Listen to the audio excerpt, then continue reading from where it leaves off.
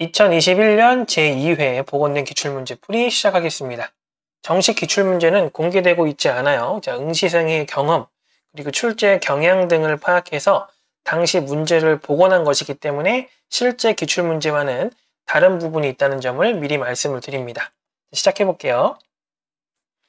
자, 아래에서 설명하는 용어를 쓰시오라고 되어 있습니다. 네트워크 구성을 위한 액세스 포인트 등의 특정 기반 구조가 없는, 자, 인프라가 없는 자율적으로 구성되는 네트워크로서 어, 무선 인터페이스, 이게 여기 없으니까 당연히 무선이겠죠?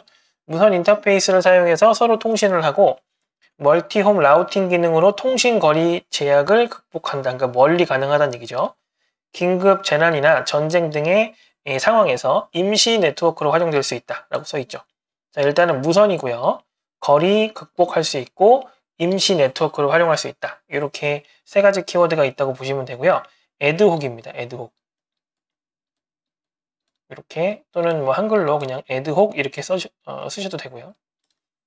이렇게 뭐 ad-hoc 네트워크, ad-hoc 다 똑같은 정답 처리가 될 겁니다. 넘어가서 두 번째 문제 볼게요. 병행제어 기법 중 하나의 트랜잭션에서 갱신하는 데이터를 다른 트랜잭션이 접근하지 못하도록 상호 배제하는 행위를 의미하는 용어를 쓰시오 라고 되어 있습니다. 화장실 같은 거라고 생각하시면 돼요. 화장실은 모두가 쓸 수 있지만 누가 쓰고 있으면 못 쓰고 못 쓰잖아요. 그 개념입니다. 그래서 이게 화장실을 이용하고 있을 때 보통 우리가 다른 사람이 못 들어오게 하려면 문을 잠그죠. 로킹이에요, 로킹. 영어로는 조금 더 정확한 락킹이라고 할 수 있겠죠. 요거 아니면 이렇게 적어주시면 되겠습니다. 넘어가서 세 번째 문제. 아래 이미지와 같이 부분 함수적 종속성을 제거해서 완전 함수적 종속을 만족하는 정규형은 무엇인지 쓰시오라고 되어 있습니다. 완전 함수적 종속이라는 거는 요 주식별자로 모든 데이터를 이렇게 식별하는 이런 형태를 얘기하는 거거든요. 근데 사실 지금 직원 코드는 이제 이렇게 1대1로 매칭이 되니까 이렇게 구분할 수가 있는데 여기 담당 업무 같은 경우에는 이제 식별이 안 돼요. 예를 들어서 담당 업무만 이렇게 딱 있을 때 직원 코드로 검색을 하게 되면 데이터 하나만 딱 나오냐는 거거든요. 여기 보면 데이터가 두 개 나오죠. 직원 코드를 검색하게 되면. 그래서 이런 것들은 별도로 따로 빼놓은 다음에 이렇게 완전 함수 종속만 되게끔 분할을 하는 거. 제2 정규형입니다. 이 정규형. 사실 이미지 없어도 이 문구만 봐도 알 수가 있어요. 부분 함수적 종속을 제거해서 완전 함수적 종속만 만족시키게 하는 형태. 이게 제2 정규형이거든요. 그러니까 이미지가 없더라도 이거는 풀 수 있는 문제기는 해요. 넘어갈게요. 아래 설명 중 4번 문제죠. 빈칸에 들어갈 용어를 약어로 쓰시오라고 되어 있습니다. 자, 무슨 무슨 알고리즘은 미국 국립표준기술연구소에서 공모를 해서 선정된 DES의 약한 암호화 강도를 대체할 수 있는 대칭키 알고리즘이다. 128비트의 암호화 블록도 쓰고 그 다음에 키 길이는 128, 192, 256비트 등의 다양한 키 길이를 가진다고 되어 있습니다. 일단 세 가지 포인트죠. DES를 대체하는 거 128비트 그 다음에 키 길이가 다양하다. 이게 AES입니다. 자, 약어로 써 있죠? 약어로 적어주시면 되고요. 보통 이런 거 암기하실 때 그리고 보통 약어만 쓰잖아요. 이렇게 보시면 되겠고 자, 5번 아래 설명 중 빈칸에 들어갈 용어를 쓰시오라고 되어 있습니다. 자, 디자인 패턴 중에 이런 이러한 패턴은 반복적으로 사용하는 객체들의 상호작용을 패턴화한 거라고 되어 있습니다. 상호작용, 작용, 그 다음에 어, 큰 작업을 여러 개의 객체로 분리하는 방법 및 기능의 구체적인 알고리즘을 정의하는 패턴이다. 패턴의 종류로는 이런 것들이 있다. 라고 되어 있는데 자 여기까지 읽지 않더라도 요, 요 구체적인 알고리즘, 기능에 대한 그 다음에 상호작용 요게 다 어떤 개념이냐면 행위예요. 행위. 어떤 행위에 대한 개념이죠. 디자인 패턴이 이제 객체 생성하는 생성 패턴 그 다음에 어, 구조 적는 구조 패턴 그 다음에 행위 이렇게 있잖아요. 이 행위 여기서 정답이 되겠습니다. 다음 테스트 harness는 테스트를 지원하기 위한 환경, 코드나 데이터 등을 말하는데 어, 테스트 harness의 구성 요소 중에 어, 하향식 테스트 환경에서 상위 모듈의 테스트를 위한 최소한의 기능만 가지는 테스트용 하위 모듈 뭐냐라고 써 있죠. 일단은 하향식 하위 모듈 여기에서 답이 나옵니다. stub이에요. stub. 테스트 stub이라고 쓰셔도 되고 이게 만약에 상향식이었으면 드라이버겠죠? 이 정도 서로 구분할 수 있게끔 공부를 해주시면 좋습니다. 다음 7번 아래 설명 중 빈칸에 들어갈 용어를 써라. 어, 기역은 사용자가 시스템을 이용하면서 느끼게 되는 총체적인 경험을 의미한다. experience죠.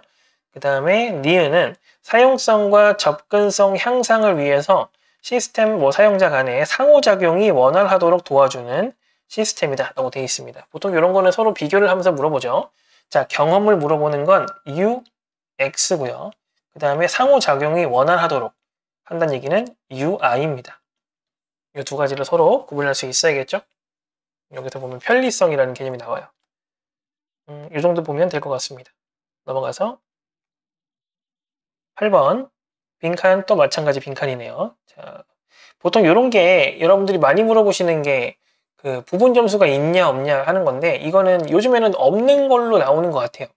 근데 이거는 이제 정확하게 적은 아니니까 예를 들어 부분 점수가 무조건 안 나오도록 정책이 설정됐다 이런 건 아니기 때문에 또 하나라도 최대한 맞출 수 있게끔 연습 뭐 학습을 하시는 게 좋겠죠? 어쨌든 자 기억은 패킷 전송 전에 미리 가상 경로를 확보하여 이미 여기 답이 나왔어요. 가상 경로를 확보한다. 그 다음에 밑에는 경로를 확보하지 않고 개별적으로 전송한다. 연결이 필요 없고요. 독립적인 패킷 교환 방식이다 라고 되어 있습니다. 자, 두 가지의 차이가 있는 건데요. 자, 이거는 가상 경로 확보라고 되어 있죠. 이거는 가상 회선 방식이에요. 말 그대로 가상 회선 방식. 그리고 얘는 독립적이고 개별적으로 하는 거고 논리적 연결이 없다. 설정이 필요 없다. 라고 써 있죠. 요거는 데이터그램입니다. datagram. datagram은 데이터의 신뢰성이라든지 안정성 이런 것보다 지속성, 연속성을 중시하는 그런 형태에 많이 사용되는 단어죠. 이 정도 보시면 될 것 같습니다. 다음 9번 어, 빈칸에 들어갈 용어를 보기에서 찾아 쓰라고 되어 있습니다. 어, 이거 테스트 coverage네요. 자, 기억은 모든 구문을 적어도 한 번 수행할 수 있는 한 번은 수행해야 되는 커버리지라는 얘기죠. 구문 요거죠, 요거 요거. 그 다음에 결정문이 적어도 자, 결정문이라는 말이 나왔어요. 조건식이 아닙니다. 결정문이 한 번은 참과 거짓 그러니까 굳이 뭐 순서대로 표현을 하자면 이렇게 가잖아요. 결정문은 그러면 여기도 한 번 가고 여기도 한 번 갈 수 있는 경로를 설정해라 라는 뜻이에요. 이게 어쨌든 답은 결정 분기 커버리지고요. 그 다음에 결정문 내에 각 조건이 한 번씩 참과 거짓의 결과를 수행해야 된다라고 되어 있습니다. 요거는 이제 어떤 느낌이냐면 결정문은 여기 안에서 뭔가 결정이 난 건데 여기에 있는 조건식이 예를 들어서 성별이 남성이어야 하고 그러니까 남인지 보는 거죠. 그 다음에 나이가 뭐 19세를 넘겨야 돼요. 조건이 두 개인 거죠. 조건이 요거 하나만, 요거 하나만 참일 때, 둘 다 참일 때 이렇게 여러 가지 케이스가 있을 거 아니에요. 그래서 이 케이스들을 다 체크해 보는 얘기예요. 그래서 성별도 어, 성립을 하고 나이도 성립을 하는 또는 성별이 성립하지 않고 나이도 성별, 성립하지 않는 이런 개념들 이런 것들까지 다 수행해야 되는 커버리지가 이제 요 디귿이고 조건 커버리지가 되겠습니다. 자, 여기까지 정리를 하시면 될 것 같아요. 요거는 근데 좀 어렵고 개념이 좀 난해하죠. 이건 나올 때마다 조금씩 더 자세하게 설명을 드리도록 할게요. 넘어갈게요. 자, 또 빈칸이죠. 요 시즌에는 또 빈칸 채우는 문제가 꽤 많이 나왔었어요. 자, 보도록 하죠. 자, 기억. 입출력 간의 어떤 연관성은 없지만 모듈의 기능들이 하나의 문제를 해결하기 위해서 순차적으로 수행되는 경우에 응집도라고 되어 있습니다. 이건 무슨 얘기냐면 입출력 간의 연관성이 없다는 건 어떤 문제를 해결하기 위해서 A, 그 다음에 B, 그 다음에 C라는 기능들이 수행이 되어야 하는데 A의 결과를 B에다 집어넣고 B의 결과를 C에다 집어넣는 이런 형태가 아니라 그냥 별도로 별도로 독립적으로 순서대로 작성을 해야 된다는 얘기예요. 이게 절차적 응집도입니다. 절차. 절차. 자, 그 다음에 모듈의 기능들이 동일한 입출력 데이터를 사용해서 서로 다른 기능을 수행한다. 자, A와 B가 있으면 둘 다 같은 데이터가 들어가는 거예요. 이렇게. 그리고 나서 결과가 다르게 나오겠죠. 요거, 자, 요게 교환, 교환적 응집도. 이렇게 이야기를 하고요. 그 다음에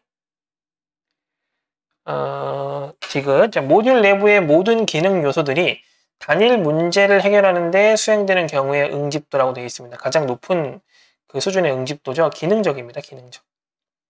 기능적 응집도. 기능 요소들이 딱 하나의 문제를 해결하는데 필요한 요소들만 모여 있는 거예요. 요게 이제 기능적 응집도 이렇게 보시면 되겠습니다. 자, 지금 여기 프레젠테이션에서는 보기가 없어요. 원래 보기가 있고 여기 밑에 이 응집도들이 쭉 정리가 되어 있고 거기 있는 걸 이렇게 갖다 쓰면 되는 건데 만약에 이렇게 되어 있을 경우에 어 그냥 적어주시면 됩니다. 절차적, 교환적, 기능적 이렇게 적어주시면 되고 영어로 쓰셔도 되고 뭐 그건 편하게 해주시면 되는데 만약에 보기가 실제로 있었다고 하면 그리고 보기가 영어로 나와 있었다고 하면 실제 답은 영어로 적어주셔야 돼요. 그거까지 좀 양해를 부탁드리겠습니다. 넘어갈게요. 다음은 11번입니다. 객체지향 분석 방법론의 가장 대표적인 럼바오 데이터 모델링에 대한 세부 유형에 대한 설명을 참고하여 빈칸에 알맞은 용어를 이 보기에서 찾아 써라 라고 되어 있습니다. 음, 첫 번째, 사용자 요구사항을 분석해서 입출력 데이터를 결정한다고 되어 있고요. 객체들의 제어 흐름과 상호작용 순서를 자료 흐름도로 나타낸다 라고 되어 있습니다. 입출력 데이터 결정하고 그 다음에 요 DFD 여기 자료 흐름도예요. DFD를 사용한다. 나타낸다. 요건 펑션이에요. 펑션. 요거. 자, 그 다음에 객체들의 기능과 상태, 조건과 활동 등을 파악해서 상태 또는 활동 다이아그램으로 나타내는 거. 자, 요거는 다이내믹입니다. 다이내믹. 다이내믹. 자, 그 다음에 업무 영역에서 요구하는 객체를 식별하고 객체에 포함될 속성 및 자료 구조를 객체 다이어그램을 통해 나타내는 거. 요거는 인포메이션이에요. 그러니까 정보 영역이죠. 동적 영역, 정보 영역, 기능 영역, 뭐 함수 영역 이렇게 이야기를 합니다. 그런 것들이 영어로 써 있으니까 이렇게 선택을 해주시면 돼요. 그래서 어떤 다이어그램을 쓰냐 사실 요것만 봐도 답이 딱 나오거든요. 자료 흐름도는 펑션, 그 다음에 활동 다이어그램, 상태 다이어그램은 다이내믹, 그 다음에 자료 구조, 객체 다이어그램 이런 것들은 인포메이션 이렇게 정리를 하시면 됩니다.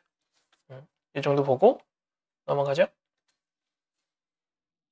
트랜잭션의 특징 중에 원자성에 대해서 약술을 하라고 되어 있습니다. 트랜잭션의 특징도 네 가지가 있는데 이것도 굉장히 자주 나오는 파트입니다. 자, 그 중에 원자성은 뭐냐면 이제 트랜잭션이라는 게 어떤 연산의 모음인데 예를 들어 다섯 가지 연산을 한다고 생각을 해보세요.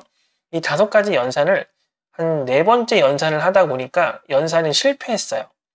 그러면 다시 거기서 멈추는 게 아니라 처음으로 돌아가는 겁니다. 첫 번째, 두 번째, 세 번째 연산을 하기도 전으로. 그래서 원자성은 모두 실행되거나 아니면 모두 실행되지 않아야 한다. 그러니까 요 1년에 다섯 개의 모든 연산의 절차가 한 덩어리란 얘기예요. 일부만 성공하는 건 없어. 무조건 성공하거나 전부 다 실패하거나 요 개념이죠. 그래서 어, 조금 말을 만들어 보자면 음, 트랜잭션을 구성하는 연산 또는 처리 이런 것들이 모두 정상적으로 실행되거나 모두 하나도 실행되지 않아야 한다는 특성 이렇게 정리를 하시면 되겠습니다. 넘어갈게요. 13번째 문제입니다. 성적 테이블에서 스코어가 90점 이상인 학생의 등급을 A로 변경하고 싶대요. 데이터를 변경하고 싶은 거예요. 자, SQL문을 작성하고자 한다. 빈칸에 알맞은 용어를 쓰시오. 라고 되어 있습니다. 이거 어렵지 않습니다. 그냥 이거는 그 문법 틀만 알고 있으면 돼요. 데이터를 변경하는 건 업데이트입니다. 자, 업데이트. 그 다음에 테이블 명이에요. 자, 그리고 set이라고 하고 이쪽에서 필드, 속성이라고 해야겠죠? 속성. 은 값.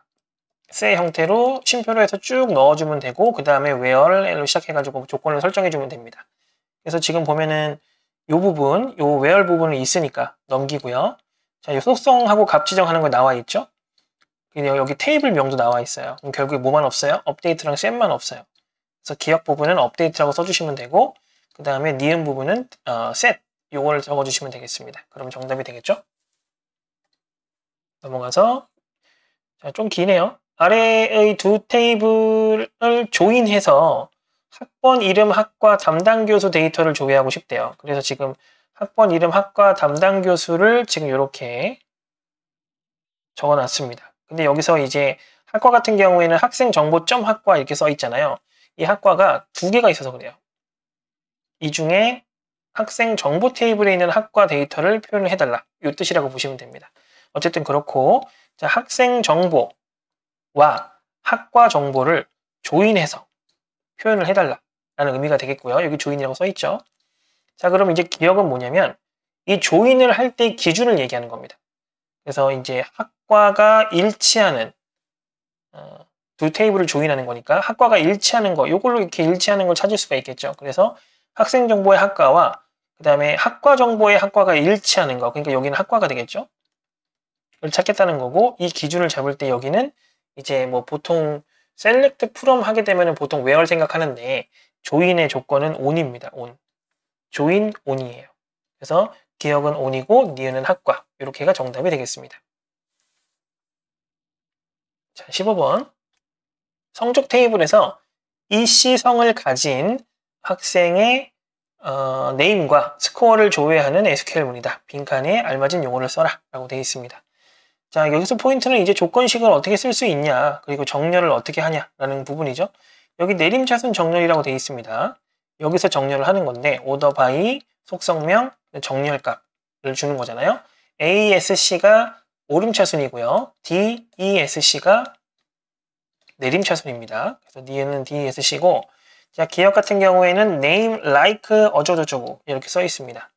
이씨 그냥 이를 찾는 거면 상관이 없는데 이로 시작하는 거잖아요. 이씨는 그래서 이 뭐뭐 이렇게 생각하시면 되는데 이렇게 문자 열 패턴을 찾을 때는 네임 은으로 시작하면 안 돼요. like가 있어야 됩니다. 그래서 like가 붙어 있는 거고요. 그 다음에 이씨로 시작한다. 방금 제가 말씀드렸죠. 이 뭐뭐 이렇게 생각하시면 되는데 이 뭐뭐에 해당하는 부분을 퍼센트로 바꾸시면 돼요. 이렇게. 그러면 이로 시작하는 문자열 이렇게 생각하시면 됩니다. 그래서 정답이 기역은 이거, 니은은 이 부분 이렇게 보시면 되겠죠. 자 넘어가도록 할게요. 자 이번엔 16번 파이썬 코드네요. 아래 파이썬 코드의 수행 결과를 쓰시오 라고 되어 있습니다. 자, A는 일단 100이고요. 그 다음에 result 변수는 0인 상태에서 시작을 합니다. for i in range 나와 있습니다. range는 1부터 3 전까지예요. 전까지. 자, 1 하고 2일 경우입니다. 1이고 2일 경우 3은 안 해요. 3까지 하려면 얘가 4였어야 돼요. 항상 이거 조심하셔야 되죠. 어쨌든 이걸 하면서 할 때마다 뭘 하는지 볼게요. 일단은 요 적어 볼까요? result라는 변수에 뭘 집어넣고 있냐면 a를 오른쪽으로 시프트 할 건데 i만큼 시프트를 할 거예요. 그럼 예를 들어 지금 1이라는 가정하에 진행을 해보면 a가 100이니까 이렇게 돼 있는 거예요. 오른쪽으로 한 칸 비트별을 움직여라 라고 되어 있는 거죠. 자, 오른쪽으로 시프트 연산을 한 번 하게 되면 절반이 깎입니다. 절반. 그러니까 100이 50이 되겠죠. 그러면 이 50이 여기에 들어가 있는 거예요. 현재. 그래 놓고 어떻게 해요? 결과값에다가 다시 1을 누적시키죠. 그러니까 50이 51이 되는 거죠. 자, 이 상태입니다. 이게 1일 때 연산이에요. 이거 끝났어요, 지금. 이제 i에 2가 들어간 상태에서 봅니다. 자, 그러면 똑같이 100인데 이번에는 두 단계 오른쪽으로 갑니다. 그러면 어? 아까는 50이 됐었는데? 이렇게 생각할 수 있잖아요. 자, 이거는 원본 데이터가 아니라 여기 이쪽에 있는 A에 해당하는 데이터를 옮긴 거지 A 안에 있는 값을 바꾼 게 아니에요.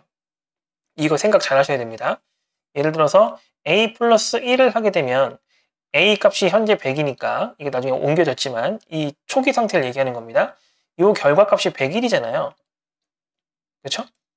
그렇다고 해서 A 값이 101이 된 게 아니에요. 이 계산의 결과일 뿐이죠. 그렇죠? 그래서 제가 여기다 A라고 쓴 게 아니에요. 100을 오른쪽으로 한번 시프트 연산하면 말 그대로 100을 오른쪽으로 시프트 한 연산의 결과가 따로 나오는 거지 100이 바뀌는 게 아니다. 요거 생각 잘 하셔야 됩니다. A가 바뀌는 게 아니다고.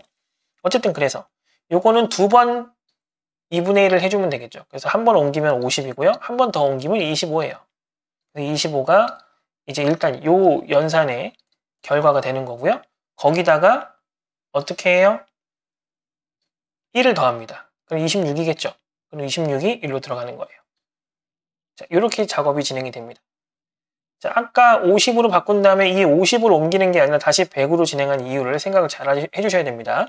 여기서 result는 result 하고서 시프트 연산을 한 게 아니에요. 그냥 순수하게 A에다가 계속 시프트 연산을 하고 있기 때문에 A가 변하지 않습니다. A는으로 시작하는 코드가 이 아래쪽에 어디에도 없어요. 그러면 A 값은 항상 고정인 거예요. 요거 항상 조심하셔야 됩니다. 그래서 결과는 어쨌든 6, 어, 26이 되는 거죠. 넘어가도록 할게요. 자, 다음 C코드의 수행 결과를 쓰시오라고 되어 있습니다. 음, 여기 위에 보시면은 함수를 선언하고 있고요. 헤더만 있죠. 이 함수가 여기 있습니다. 그리고 메인 함수가 여기 있고요. 여기서부터 하겠죠? 요거는 이제 들여쓰기가 안 되어 있는데 뭐 보는데 크게 지장은 없습니다. 요거 이제 res 만들었고요. res라는 변수에 mp 함수 호출해서 2하고 10을 넘겨주는 이 함수를 진행을 하고 있죠. 그러면 요 2가 베이스로, 요 10이 exp로 이렇게 넘어갑니다. mp 요게 2가 되고 요게 10이 되어 있는 상태예요. 그리고 나서 res 하고 1 이렇게 되어 있죠. 자, 이 상태에서 포물을 돌립니다. 포물을 몇 번 돌리는지 한번 볼까요? 0부터 시작해서 10 전까지 돌리는 거예요. 여기가 이렇게 되어 있잖아요. 등호가 없죠? 그러면 0부터 9까지 한다는 소리예요. 그러면 이거는 결국에 10회 한다는 소리죠. 0부터 9까지니까. 자, 그 상태로 한번 봅시다. 어떻게 하는지. 자, RES에다가 누 승을 하고 있어요. 여기가 만약에 더하기였으면 누 적이었겠죠. 근데 지금 곱하기니까 누 승을 하는 겁니다. 1에다가 베이스가 뭐예요? 2죠. 2를 10번 곱하겠다는 뜻이에요. 1에다가 2를 10번 곱하겠다는 뜻입니다. 이런 식으로 해서 10번 곱하겠다.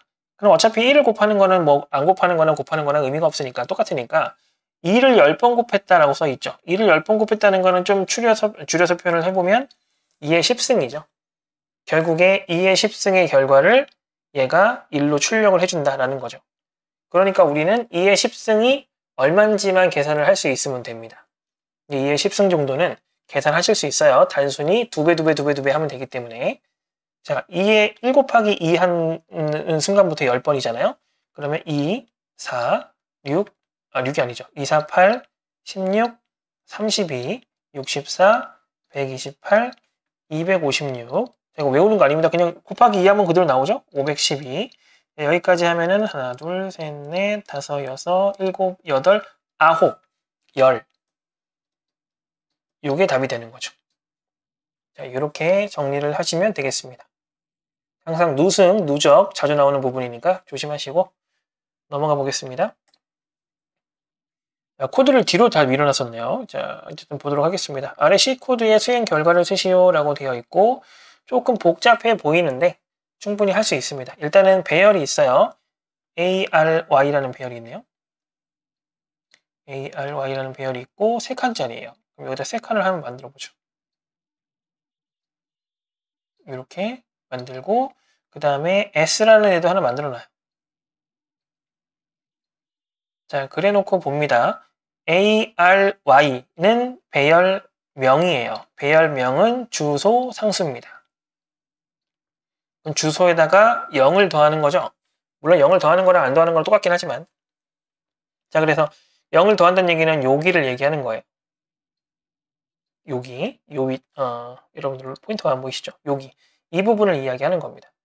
결국에 A, R, Y에 0을 더했다는 얘기는 안 했다는 거랑 똑같은 개념인데 그럼 결국에 A, R, Y는 이 배열의 주소를 얘기하는 거고 배열의 주소는 이 위치랑 똑같습니다. 첫 번째 위치랑 0번째죠 정확하게는 그런데 이 위치 값이 요 놈의 결과인데 그 결과에 별을 붙였어요 어떻게? 이 첫 번째 위치 0번째 위치를 찾아가서 라는 의미가 됩니다 거기에다가 1을 집어넣어라 라는 의미가 되는 거예요. 요거 이해 잘 하셔야 돼요. 자, 그래 놓고 밑에 것도 한번 볼게요. 자, 똑같습니다. 똑같은 위치예요. 똑같은 위치를 찾아갔어요. 근데 얘는 지금 등호의 왼쪽이 아니라 오른쪽에 있죠? 여기 있는 값을 쓰겠다는 겁니다.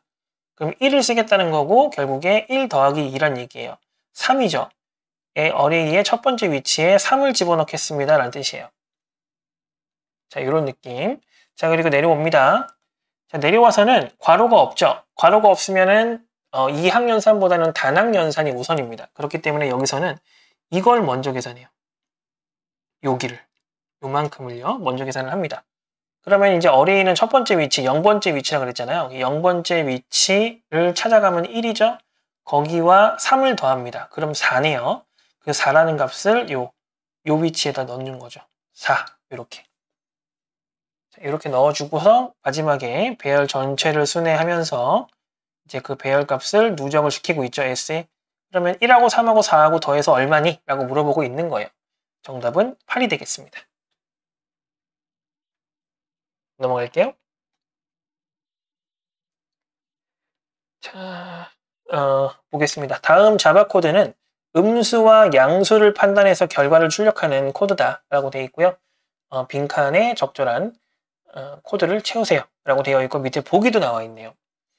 음, 특별하게 어려운 건 아니고요. 그리고 사실 음수와 양수가 중요한 게 아닙니다. 여기는. 자, 이렇게 어, 한번 볼게요.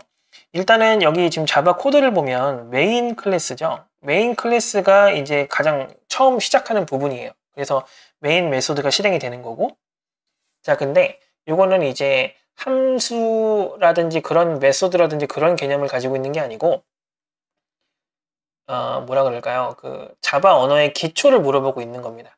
일단 자바는 클래스로 구성이 되어 있어요. 그 다음에 이 클래스를 통해서 객체를 생성할 수 있습니다. 이 객체 안에는 어떠한 데이터와 어떤 연산 이런 것들에 대한 부분이 모여 있는데 이 연산 이게 method죠 우리가 알고 있는 근데 이 method를 수행하기 위해서는 객체화가 반드시 필요해요. instance화라고도 하죠. 이게 반드시 필요합니다. 그래서 new 어쩌고 저쩌고 예를 들어서 뭐 main이면은 new main 뭐 이런 식으로 해서 그 클래스를 통해서 객체화를 한 다음에 그 다음에 method를 수행하고 이런 식으로 작성을 하게끔 해놔야 된다는 거죠. 근데 지금 이 코드는 main method 안에서 check method를 호출하고 있는데 이 check method 앞에 객체명이 없어요. 원래 뭐뭐.점 체크 이렇게 하는 게 맞거든요. 예를 들어서 뭐 desk라는 클래스가 있다고 하면 new desk 익숙한 형식이죠. 이렇게 해서 어떤 변수에 집어넣어요. 음, 뭐가 있을까요? 뭐 테스트 A 뭐 이런 식으로 해서 집어넣고 A.check 점 이렇게 하는 게 하는 게 맞다 이거죠. 이런 형식으로. 요 앞, 앞부분이 없잖아요. 이렇게. 자, 그래서 객체를 생성하지 않은 상태에서 이렇게 내부에 있는 클래스 내부에 있는 메소드를 호출하기 위해서는 어, 키워드가 필요합니다. 하나의 키워드가. 뭐가 필요하냐면 이 static이 필요해요. 그래서 메인 메소드도 메인 클래스의 객체를 따로 생성한 다음에 호출하는 게 아닌데 항상 먼저 호출할 수 있는 이유가 이 static이 붙어 있기 때문입니다. 그럼 얘랑 같은 레벨에 있는 이 check라는 메소드도 역시 어떤 키워드가 필요할까요? static이 필요하다는 거죠. 그래서 정답은 static이 되는 겁니다. 이렇게 제가 좀 풀어서 설명을 했는데 포인트는 그거예요. 객체 생성을 하지 않고 메소드를 수행하고 싶으면 static 키워드가 필요하다. 이게 포인트예요. 그래서 이제 정답은 static이 된다는 거죠. 자, 넘어가서 마지막 문제 한번 보겠습니다. 이거 또 코드네요. 자, 자바 코드의 실행 결과를 어, 쓰시오라고 되어 있습니다. 음, 자, 여기 메인부터 봐야겠죠? 메인 시작이니까요. 자, OVR, 아, 여기 띄어쓰기가 되어 있어야 되는데 죄송해요. OVR A, 그 다음 OVR 2B, 뭐 이렇게 써 있는 겁니다. 자, OVR이 요거고요. OVR 이제 2가 OVR을 상속받은 상태예요. 좀 헷갈릴 수 있는데 여기 좀 나와 있습니다. 실제로 문제가 이런 식으로 나왔어요. 자, 그래서 어쨌든 OVR에다가 OVR 생성했고 OVR2에다가 OVR2를 생성했기 때문에 뭐 업캐스팅이라든지 뭐 이런 건 없어요. 그냥 순수한 그 일반적인 형태입니다. 이 상태에서 A.산, 그 다음에 B.산 요걸 했어요. 여기 sun이 두 개 있잖아요. 여기도 있고, 여기도 있고. 자, 근데 이건 뭐 어렵지 않습니다. 일단 A는 OVR이에요. 요거예요. 그러니까 얘가 호출이 되는 거예요. 얘가. 그리고 B사는 얘가 호출이 되는 겁니다. 왜냐면 overriding이 됐거든요. overriding이 되어 있으면은 하위 클래스에 생, 성된 객체들은 그냥 자기들 걸 씁니다. overriding 덮어씌워 된 거기 때문에. 자, 그래서 일단 요거 생각해 보면 이거는 3하고 2를 그냥 단순히 더해요. 그럼 결과가 5겠죠. 이렇게. 자, 근데 얘를 보면 얘는 3하고 2를 일단 뺍니다. 여기. 3 빼기 2 해서 빼요. 그럼 여기는 일단 결과가 1이에요. 그리고 나서 슈퍼, 내 상위 클래스에 있는 얘를 호출합니다. 1로, 1로 다시 가는 거죠. 그러면 어떻게 돼요? 3하고 1을 또 더하겠죠. 똑같은 결과가 나오겠죠? 5가 나옵니다. 그래서 1하고 5를 더해요. 그럼 여기 있는 결과는 6이에요. 그러면 5하고 6을 더하는 결과가 나오겠죠? 그래서 5하고 6을 더했을 때 결과는 11이니까 이 문제의 답은 11이 되겠습니다. 음, 뭐이 정도 풀이를 해보면 될 것 같습니다. 자, 뒤쪽에 코드가 좀 몰려 있어서 좀 머리가 아프시죠? 네, 고생하셨습니다.